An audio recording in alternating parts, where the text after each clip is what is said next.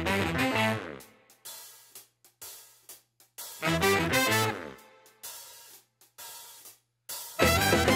woke up this morning, I wanted to cry. My baby mistreats me, I don't know the reason why. I give him my money, I give him my time. She still wants to cheat me, I just wanna.